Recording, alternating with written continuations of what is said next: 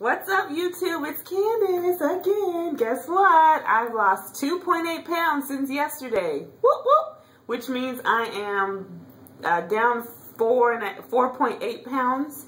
So really about 2.8 pounds since that's lower than that's past my um weight for loading. So I think that's good. It's only day. It's today is my day four. Um, and I told you about my slip up the first day, um, so I think that I'm doing really good. Today I will say that I didn't get a chance to drink as much water as I'd like to have drank, but I'm going to make up for that tonight. I still have about, you know, a, quite a few hours before I go to bed. Um, so I'm going to guzzle, guzzle, guzzle. Um, but today the headache has left. No more headache. Um, I am a little sluggish today, kind of tired, but I think the reason is is because I watched this, I started watching this new show called The Following, and I literally, it's four episodes in. I watched all four yesterday, including the new one that came on last night. It's a good show, really good show, but probably not, I won't recommend myself to watch it at nighttime by myself when I live by myself in the dark. Mm, not a good idea, because I woke up about 2.30 this morning thinking I heard somebody had my knife underneath my bed, was ready to pull it out just in case someone act crazy. Thank goodness they didn't, but I still kept thinking, like, my mind was just going over the different scenes in the movie, like, what if that happened to me, and all this kind of stuff. So I think that's probably the the reason why I'm so tired today.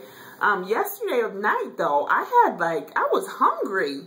I had just that empty stomach, but it was a hungry empty stomach.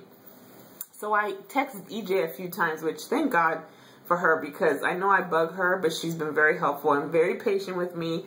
So she just had me, um, she told me, you know, to eat my piece of fruit and, you know, break up, kind of split things up a little bit and try different tactics. And so I went ahead and, um, had my dinner, had my fruit for dessert, went to bed kind of early, but then I, like, I mean, not early. I went to bed about 11 o'clock then I was up around 2.30 and have been up ever since. So, but as far as the hunger part, that part went away after I went ahead and just did what she told me to do. And I think she just said, have my other piece of Melba toast, I had some water, and then have a half a piece of my fruit. And that held me over till dinner, had dinner, had the other half of my fruit. So, that's that. Today's been no struggle really. I think because I was so busy today, I really didn't have time to think about being hungry or not eating.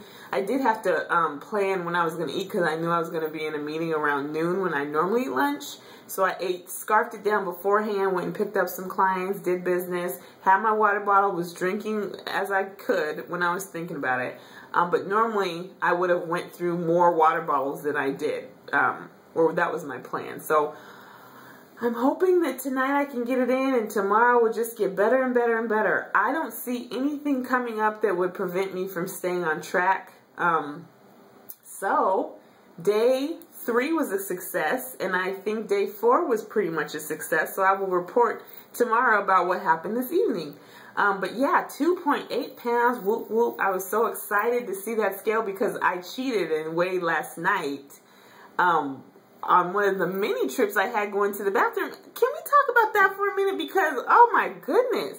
I know that I'm supposed to drink that water, but that going to the bathroom is becoming inconvenient because it's like, you know, when you're finally in bed, finally comfortable, just got right, your, your pillow's perfect, the blankets are perfect, and then that urge comes and my bladder's like, bang, bang, bang, go ahead, get up, get up, get up. And so finally I do, and it's cold, go sit on that cold toilet, wash your hands, and honestly, that doesn't always happen at like 1, 2, 3 o'clock in the morning because it is too cold and I'm tired.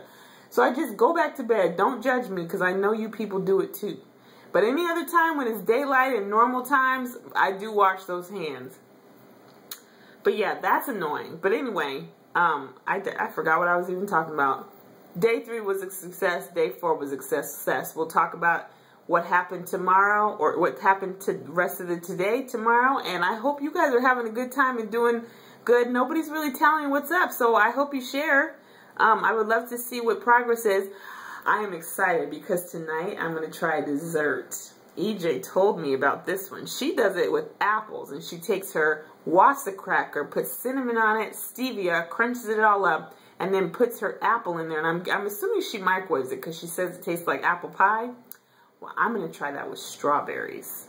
And maybe instead of um, cinnamon, I might just use the sugar. I could. Maybe cinnamon might work with strawberries. I'm not really sure. But I'm so excited about that. I wonder if you can use vanilla. I'll have to ask her. I know that's not on my list of seasonings, but I don't think vanilla has any sugar in it. So I don't know why not, but I will ask before I do it. And if I do do it and I'm allowed to, I will report back. Hopefully I can take pictures because I've been making some pretty delicious, delicious looking meals lately. And I was thinking I should start dialoguing them so people can ask or see when they want to know what's a good idea of, of to have for a meal. Um, so yeah, I'll tell you about this dessert tonight and see how it works. All right, guys. Keep up the good work. Thanks for stopping by. I appreciate it. I see you out there who are showing me that love. I appreciate it. Have a wonderful evening, and I will see you tomorrow. Bye.